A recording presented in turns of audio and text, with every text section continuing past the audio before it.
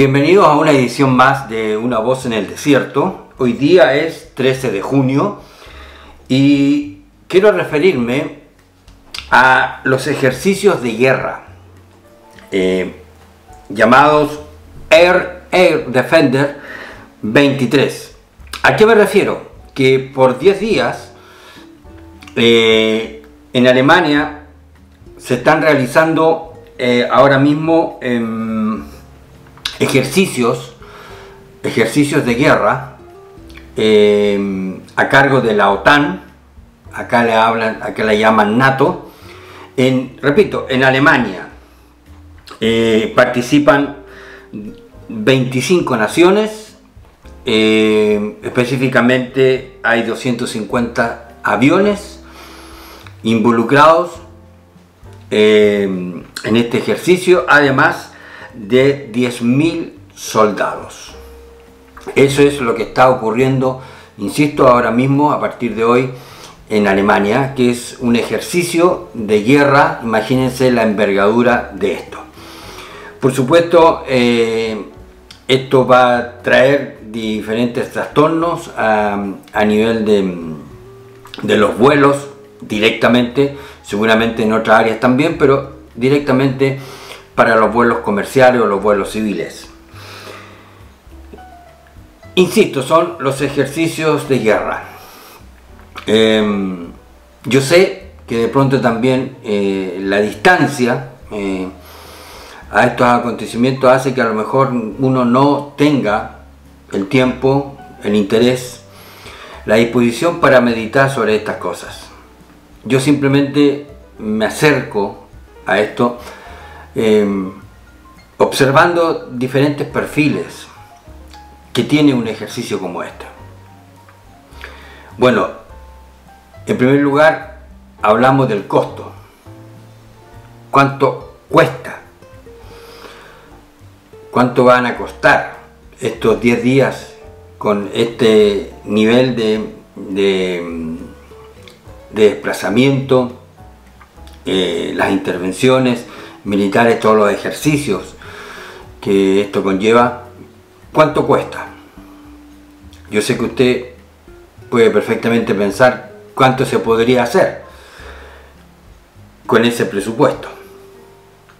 Bueno, ese es algo que está involucrado. ¿Cuánto cuesta esto? Y por supuesto que son muchos, muchos, seguramente millones de euros. Eso por un lado. Segundo, ¿cuál es el costo medioambiental? Hablamos de cuidar el medio ambiente, el cambio climático, de todas estas cosas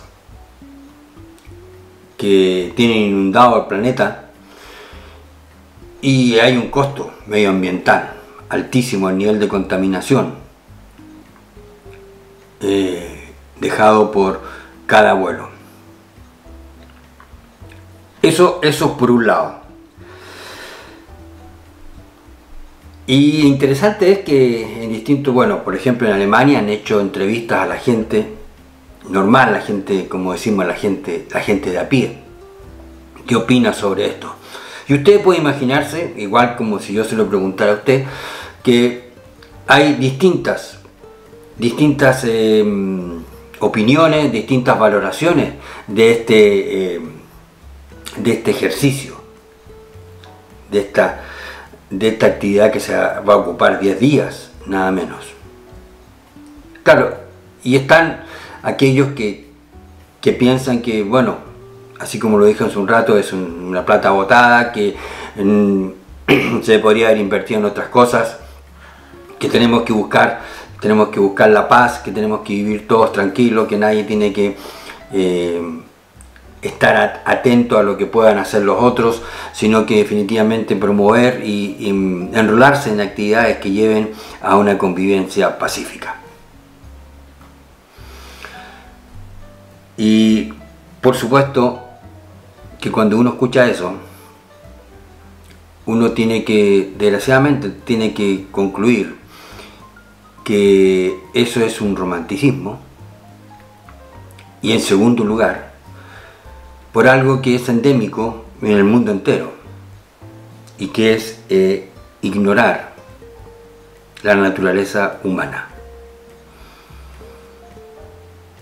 Yo sé que de pronto uno llega al sinsentido, al ver cómo los países, las potencias y ahora mismo el arsenal que van a demostrar, cómo se preparan, cómo se gestan, cómo se fabrican estos poderíos militares, cómo hay gente que se involucra en esto.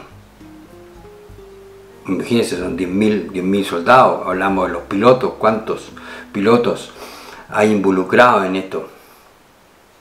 Gente que, que ve en, no sé si en su razón de vida, pero ve en, en un objetivo real involucrarse en todo lo que tiene que ver con la guerra. Entonces, yo vuelvo al punto que, que claro, uno lo ve todo tan irracional de pronto. Desarrollar tremenda capacidad de destruir, de destruir a otros. Precisamente ahora mismo cuando vemos lo que pasa entre Rusia y Ucrania, por ejemplo, que es el telón de fondo de todos estos ejercicios. Y muchos plantean que esto es de alguna forma un, mostrar músculo, dicen acá, a Putin y lo que él está haciendo.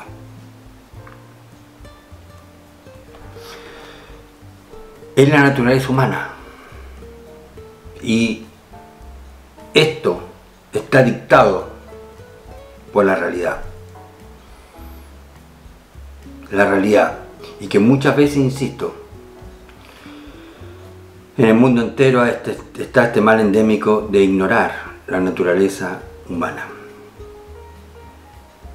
Resulta que la Biblia, y yo insisto en este punto, leo la Biblia, estudio la Biblia me conecto con ella, no con un afán de cultivar una religión, sino que entender precisamente la realidad, entre otras cosas.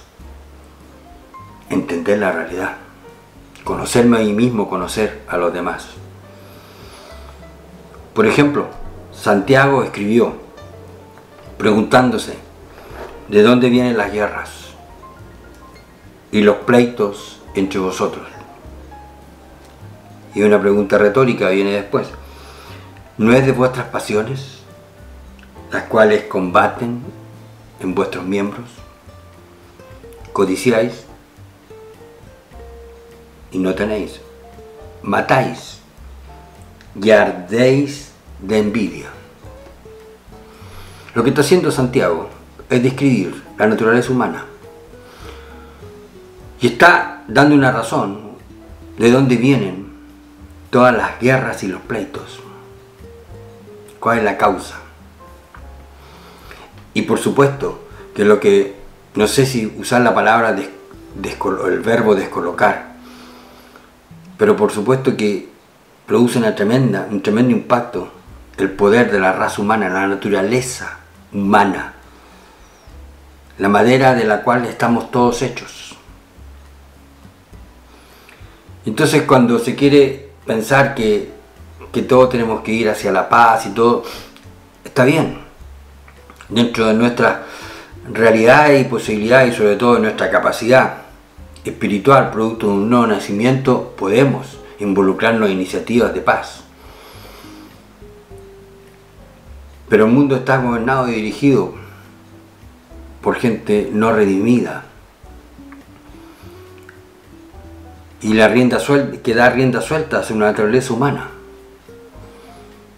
Entonces le tenemos que quitar el romanticismo y entender que la realidad acá la está dictando la naturaleza humana, que no hace otra cosa la Biblia que describirla, de poner blanco sobre negro. ¿De dónde vienen las guerras y los pleitos? ¿Cuál es el origen de todo esto?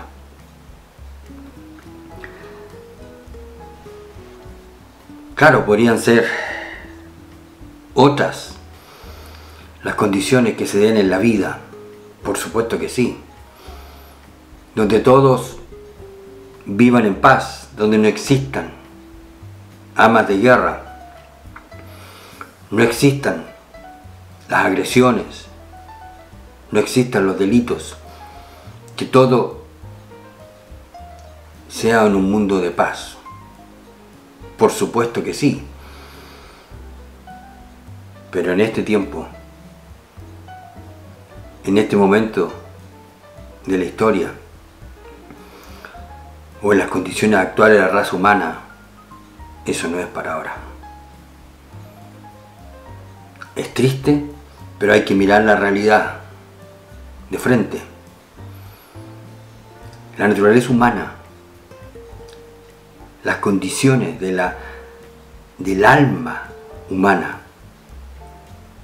es lo que lleva a todo este ambiente que vemos en el mundo entero.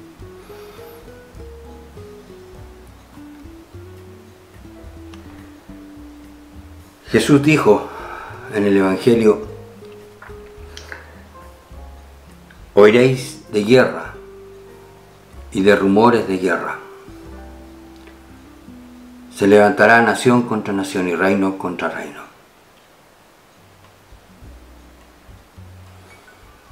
Uno puede atribuir a las palabras de Cristo, por ejemplo, a, a la capacidad de verlo todo de conocerlo todo. Y por otro lado, simplemente refiriéndose a las consecuencias lógicas y naturales, producto de la raza humana, de la condición del alma humana, que desde que el hombre es hombre y tras la caída después del Edén, su inclinación, y podríamos decir natural, ha sido hacia la violencia, hacia la expansión, hacia la conquista, hacia lograr someter a los otros o sucumbir en el, en el intento. La beligerancia es propia de la historia de la raza humana. Y cuando uno está acá, puede en cualquier lugar hacerlo, pero recuerdo haber estado en, un lugar donde era parte en ese momento, o sea, era parte de la historia, quiero decir, del Imperio Romano. Que fue, uno se imagina que es, o sea, fue absolutamente gigantesco eso. Y cuando estaba parado ahí, en el lugar, que fue parte del Imperio Romano, yo me pregunté cómo fue, uno, posible que esto llegara a suceder, que hubiera un imperio tan tan grande, y segundo, cómo cayó un imperio como ese. Y la razón es siempre la misma. La corrupta naturaleza humana. La extensión, la expansión, el dominio, el ejercer poder sobre otros, el extender, el extender las fronteras, la beligerancia, la soberbia, que es propio de la naturaleza humana.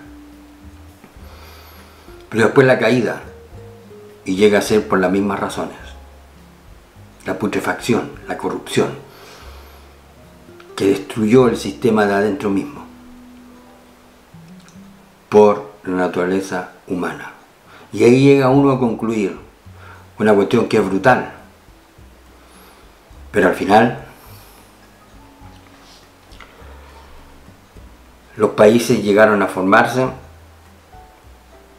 porque quien los conquistó, quien extendió sus dominios, quien extendió sus, eh, sus puestos de poder, logró establecerse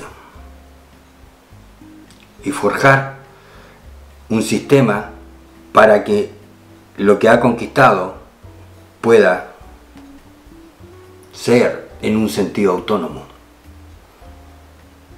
O sea, es brutal, pero al final la tierra es del último que la conquistó. Y lo que, claro, es la historia de los países y lo que vemos hoy día, en el fondo es, es una cuestión así. Entonces la tierra nunca perteneció a alguien en específico, hasta que el último logró establecer los dominios y establecer las fronteras y establecer sistemas de gobierno para que exista un país. Yo insisto, es brutal, quizás no es para nada, para nada popular decir algo así, sobre todo para quienes lo sufrieron. Pero yo simplemente reconozco los hechos de la raza, de la naturaleza humana. Eso mismo, esa misma naturaleza que está llevando a cabo estos ejercicios de guerra, millonarios ejercicios de guerra, con un costo de contaminación altísimo por la naturaleza humana. Y cuando Jesús dijo simplemente lo que hace un ratito dije, se levantará nación contra nación y pueblo contra pueblo. Y oiréis de guerra y de rumores de guerra.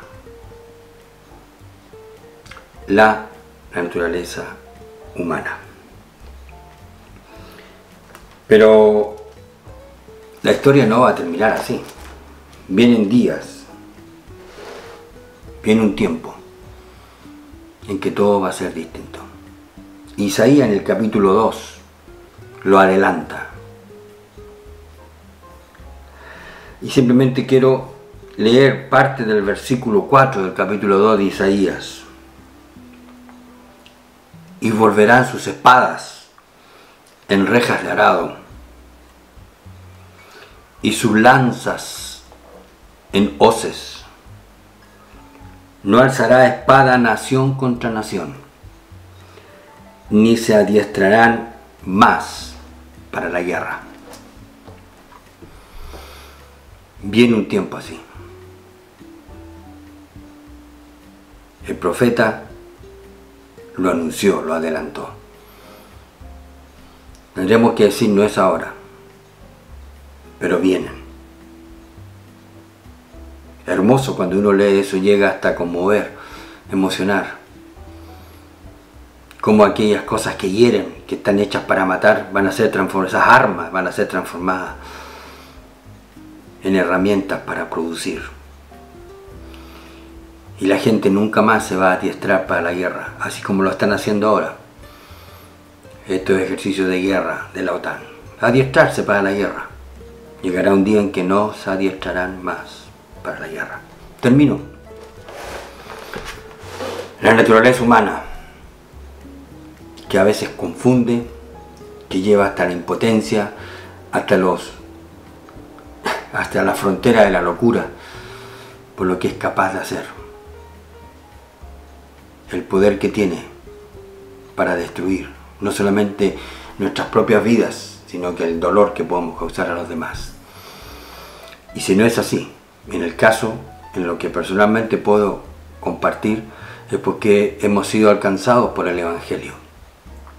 Porque Cristo murió en la cruz para destruir el poder del pecado, destruir la naturaleza humana y dar lugar a una nueva humanidad, quizás en niveles pequeños, pero al fin y al cabo, aquellos que han sido redimidos, que han sido transformados por el poder del Evangelio,